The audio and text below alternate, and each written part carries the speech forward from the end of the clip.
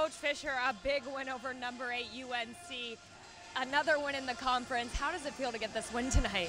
It's huge for us. This is, uh, you know, we, we probably needed another top 25 win, and we got one. And uh, it was a strange game emotionally, but we were good when it mattered, and especially this one right here. This one, um, career high of 19 kills. What does this win mean for your team today? And how did you feel about your performance with that career high? Oh, this is a really big win for our team. We had ups and downs, but we stayed strong and stayed as a family and played strong. And for my performance, I'm really happy that I finally got a chance to show what I can do. and coach, you looked he- plenty healthy, Yeah. and again, offensively, a much more balanced attack. Yeah, I, you know, we didn't make any excuses, but I, you can see what we've been missing the last month, and that, so it's nice to have her back at full strength. Well, thank you. Congratulations to both. Thank you.